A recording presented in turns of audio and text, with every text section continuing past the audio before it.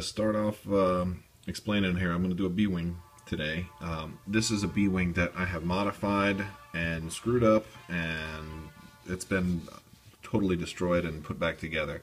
I had broke the back off, so I glued it back on, and I figured, hey, being that I'm gluing the back on, let me put them sideways. Some people do magnets. I got, I got these magnets, and uh, they turn out to be the exact same size as the cockpit, and you need them to be smaller than the cockpit.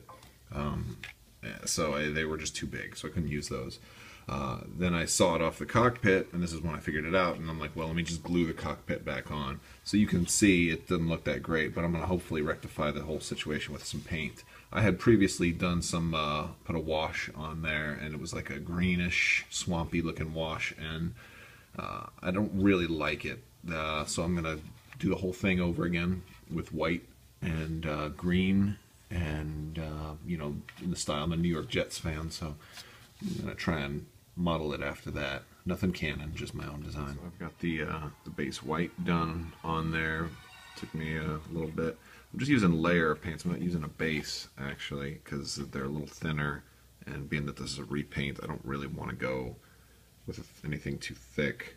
Um, so I'm gonna so I've got uh, I got some tape around here, and I did one long piece that did both sides at the same time, so it measures up. And I'm going to use a dry Citadel warps uh, warpstone glow. So, so I tap off the brush a little bit. I want it to be real dry when I put it on here, because I'll, I'll probably come back and do more.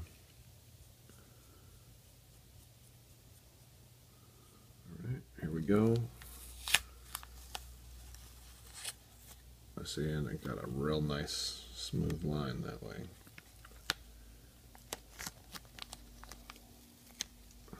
Right, so I got all the green done, and I'm getting ready to do uh, some of the black highlights, and then I'll work in the uh, the wash. So I got my black done. I did a little more black than I originally intended to do, but I think it came out pretty well.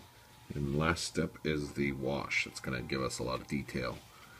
So, alright, so I'm going over this, and like you can see, the wash just sinks right down into the into the detail. It's a real light wash, and uh, you know it's gonna look look gonna look really good when it's just done. And I can go over it again if it's not dark enough. But I just want enough to really get the detail, bring it out, not enough to make it look black.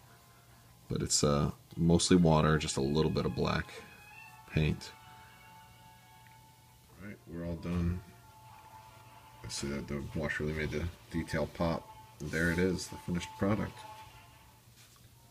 My uh, New York Jets inspired B-Wing. Hope you like it.